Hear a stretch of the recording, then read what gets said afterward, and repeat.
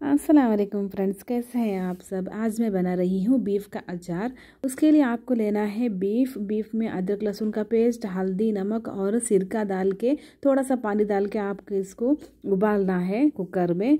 जब उबलेगा, तभी अगर पानी रह गया है तो आप उसे अच्छे से पकाइए, इस तरह पानी सूख जाएगा।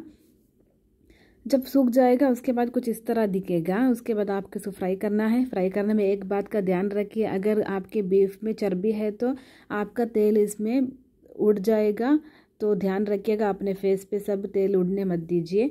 थोड़ा सा केयरफुल से पकाइए।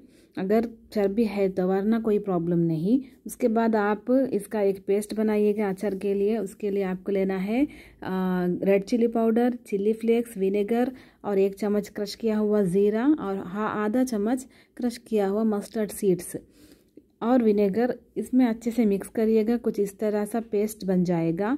उसके बाद आप यहाँ पे हरी मिर्च, अदरक और लहसुन, उसके बाद करी पत्ता। करी पत्ता को भी कट करना होगा। कट करके आप साइड में रख दीजिए। उसके बाद यहाँ पे आप बीफ का फ्राई हुआ, किया हुआ तेल अगर बच गया है तो वही आप ले सकते हैं, कोई प्रॉब्लम नहीं।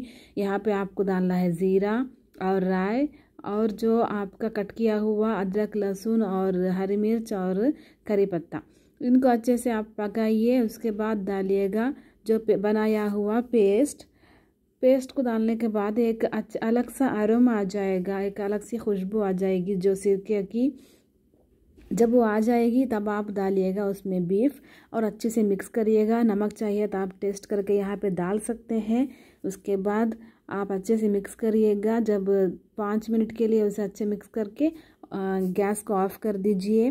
ठंडा होने के बाद आप इसे एक बॉटल में भर दीजिएगा और ये आप दो तीन महीने तक रख सकते हैं, कोई प्रॉब्लम नहीं है। जब भी आप यूज़ करेंगे, आपके चीज़ याद रखनी होगी कि आपको इसमें गीला चम्मच नहीं डालना है, चम्मच एकदम सूखा हुआ डालना है, तभी आपका बीफ हमेशा बहुत लॉन्ग टाइम तक आ सकता है।